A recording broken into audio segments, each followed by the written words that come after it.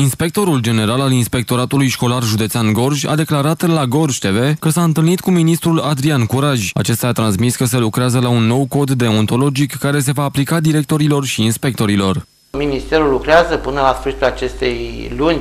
Vom primi o metodologie simplificată pentru ocuparea funcțiilor de inspector școlar general, inspector școlar general ajung, director CCD, inspector școlari, director, lucrează chiar la un cod uh, deontologic referitor la, la ocuparea acestor funcții, pentru că vrea ca în, uh, în luna februarie să treacă și să organizeze a patra uh, sesiune de ocupare a funcțiilor de inspector școlar general, pentru că mai sunt în țară șase județe care nici în momentul de față nu au uh, ocupate funcțiile de inspector școlar general ca urmare a câștigării concursului.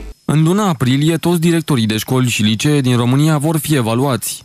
Pot să vă spun că din 2008 nu s-a mai organizat acest uh, concurs și practic în momentul de față toți directorii de școli de și licee din sunt România uh, prin sunt numiți prin detașare în interesul învățământului.